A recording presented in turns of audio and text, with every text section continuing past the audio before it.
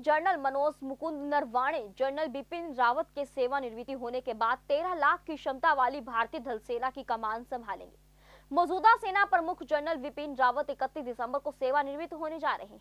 Operation और command का लंबा अनुभव रखने वाले नरवाणे जनरल बिपिन रावत के बाद सबसे अनुभवी सेना अधिकारी हैं। Manoj Mukund Naravane, air chief marshal R K Bhadauria और नौसेना अध्यक्ष करमबीर सिंह ने उन्नीस सौ छिहत्तर में नेशनल डिफेंस एकेडमी का छप्पनवा कोर्स एक, एक साथ किया था। भारतीय सेना के इतिहास में यह दूसरी बार है जब तीनों सेनाओं के प्रमुख एनडीए के उन्नीस बैच के कैडेट होंगे। बता दें कि इससे पहले उन्नीस सौ इक्यानवे में तत्कालीन थल सेना प्रमुख सुनीत फ्रांसीसी रोडिगिज नौसेना प्रमुख एडमिरल लक्ष्मी नारायण रामदास और air chief marshal Nirmal Chandra Suri ने तीनों सेनाओं का नेतृत्व किया।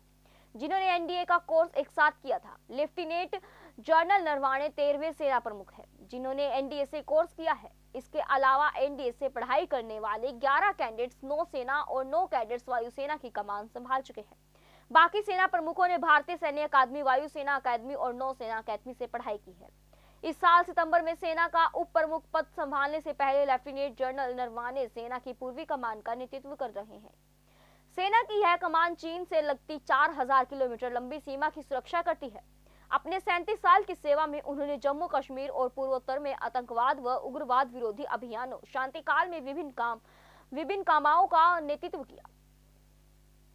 उन्होंने जम्मू कश्मीर में राष्ट्रीय राइफल, बाल्टियन और पूर्वी मोर्चे पर इन्फेस्ट्री ब्रिगेड का नेतृत्व भी किया। लेफ्टिनेंट जनरल नरवाणे श्रीलंका भेजी गई भारतीय शांति बल का हिस्सा थे।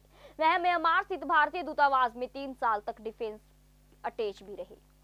JBD Banquets lie हैं। Incredible marriage palace, Rajgharana and the finest banquet hall, Jyoti Garden. World-class catering, centrally air-conditioned, lush green lawns, state-of-the-art lighting. A perfect venue for wedding, launching and parties. Rajgharana and Jyoti Garden at JBD Banquets Enterprise.